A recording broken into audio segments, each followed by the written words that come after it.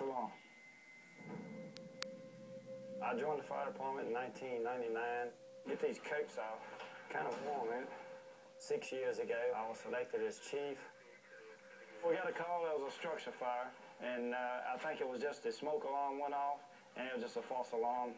But hey, you know, you just got to be ready. You never know. You get that and the whole house is on fire. Does that ladder need to stay like it is, or do we need to lay it down? When I was 16 years old, my house burned down Christmas night.